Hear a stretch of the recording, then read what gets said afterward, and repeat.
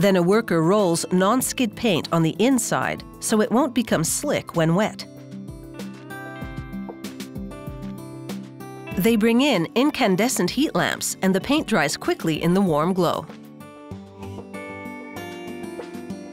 After just 30 minutes, the paint is dry. Then it's time to see if it'll float. They transfer the aluminum canoe to a tank of water.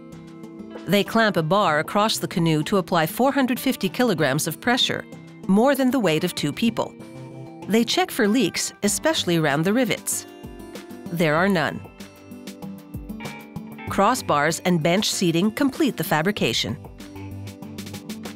There's one last bit of business, and that's the company insignia.